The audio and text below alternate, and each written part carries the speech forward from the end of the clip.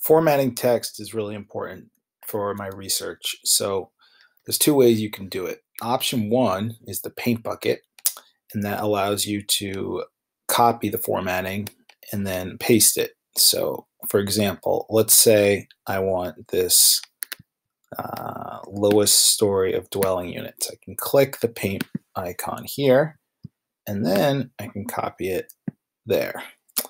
Now, notice it doesn't copy a second time. Now, if I wanted to copy a second time, it's going to undo this. I can select, I can double click, and this is going to now allow me to paste wherever I want this formatting. Now, this is good um, if you're doing like a bulk formatting update, but it's also not very flexible. So actually, I prefer the keyboard shortcuts. Oops, and to get out of it, you have to click um, the icon again to get out of the formatting mode. Um, so here's how the shortcuts work. Let's say I wanted to select this formatting and copy it.